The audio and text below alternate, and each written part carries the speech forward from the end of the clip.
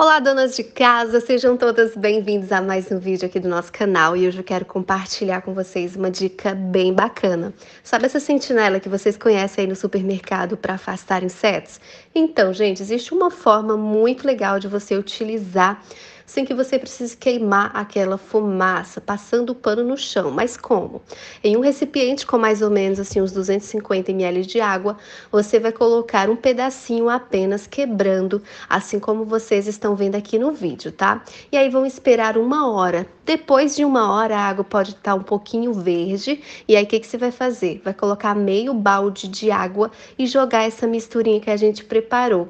Só vai ter que retirar esses pedacinhos que sobrarem tá bom? Fazendo isso, gente, você não vai poder passar em toda a sua casa, não. Eu aconselho vocês a passar apenas nas entradas, como por exemplo a minha lavanderia. Essa aqui é a lavanderia, pode ser a entrada de alguns insetos noturnos, principalmente, né, como barata, entre outros, passando o pano aí nas entradas da sua casa em todas elas você vai estar afastando aí, fazendo com que eles não entrem, tá? Ou pelo menos diminuindo as chances de que isso aconteça.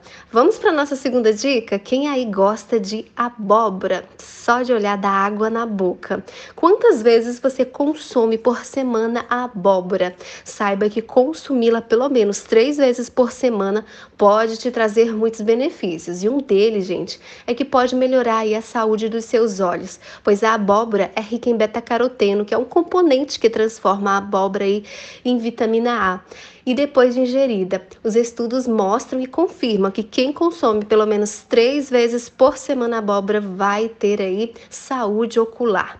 Vai ficar livre de problemas como catarata, olhos secos, degeneração macular, entre outros tipos, gente. Sem contar também que vai deixar a tua pele mais bonita, teu coração vai ficar saudável e a tua imunidade também vai aumentar. Por ser rica em vitaminas A, C e E, o consumo aí da abóbora pode gerar diversos benefícios positivos para o coração, aumentando a imunidade, deixando você livre de doenças.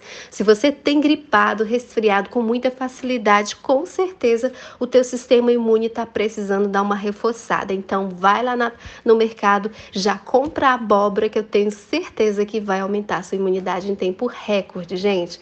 E para a mulherada que tem é, vaidosa, que tem medo de rugas, que quer ficar jovem por mais tempo, saiba que consumir a abóbora com regularidade faz com que sua pele fique jovem por mais tempo, também por conta da vitamina C, que acaba combatendo os radicais livres e deixando as células da pele muito mais saudável, muito mais jovem, livre de ruguinhas e flacidez, gente. Há quem faça também o purê aí da abóbora e aplique em máscara na pele, fica uma maravilha. Para quem tem poros abertos, é excelente.